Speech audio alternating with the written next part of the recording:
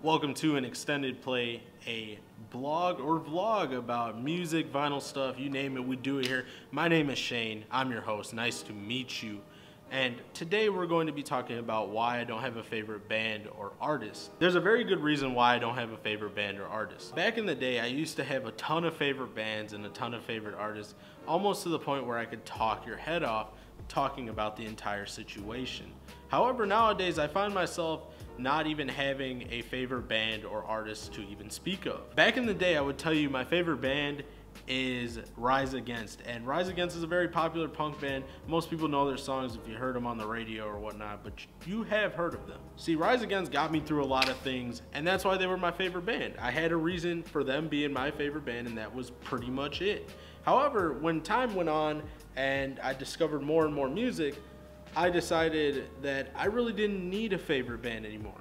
And the reason for that is because I feel like you don't need a favorite band because there's so many of them. There's so many artists or bands out there that why do you need to favorite one over the others? Of course, there's some that you're gonna like more than others, but why is it that we favorite this one over the other?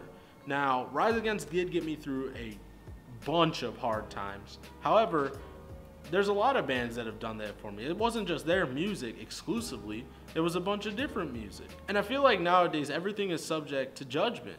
So when I tell someone, hey, this is my favorite band, they immediately have a connotation of me for some reason that, hey, they like this band, so they only like this type of music. However, that's not correct at all. Because of Rise Against being my favorite band, I decided to listen to more uh, loud music, fast music, whatever, heavier music.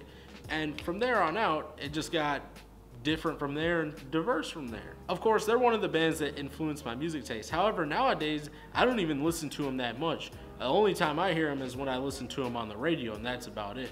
Of course, I pop it in every now and again, but it doesn't have the same connection to me as it used to. See, having a favorite band is cool and all, and I think that it's a healthy way to listen to music.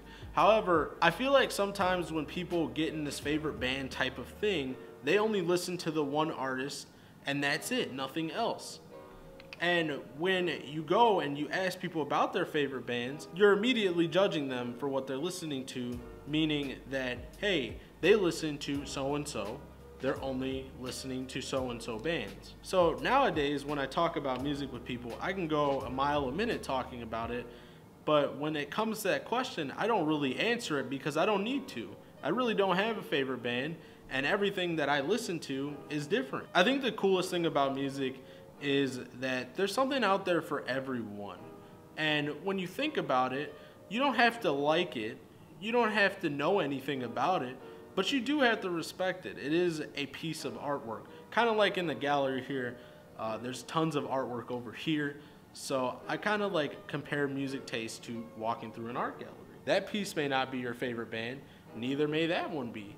But however, you still gotta respect and like the music regardless. So that's all I got for you guys today. If you did enjoy, leave a like on the video. And as always, we will see you next time.